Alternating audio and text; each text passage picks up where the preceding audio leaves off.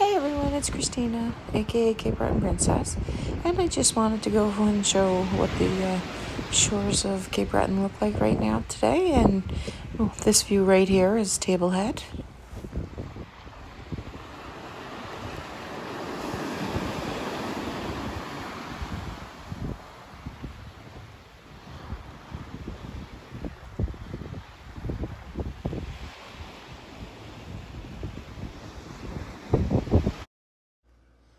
I definitely enjoy the view down here.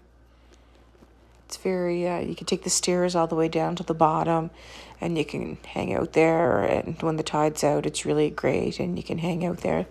So if you haven't been there, definitely check it out.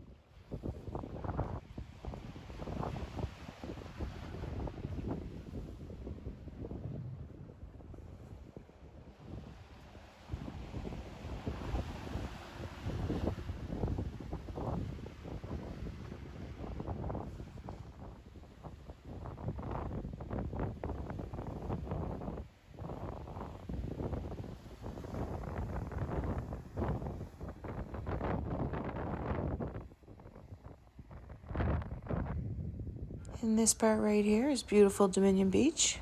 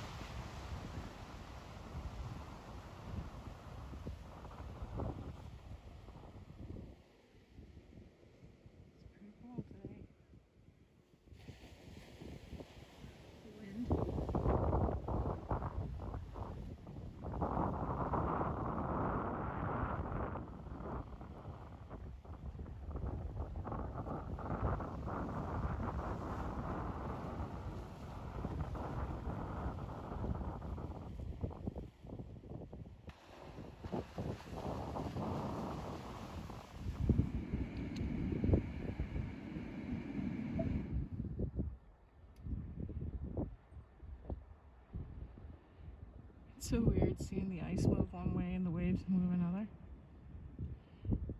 This is South Street. We were here the other day.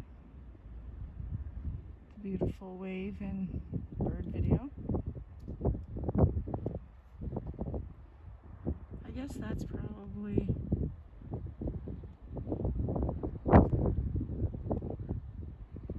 where the current is. When we were kids, when I learned how to swim here, we were always told to avoid that area right there. It's got like an undertow there. And you can kind of see it where the ice is drifting out. And the waves are rolling in.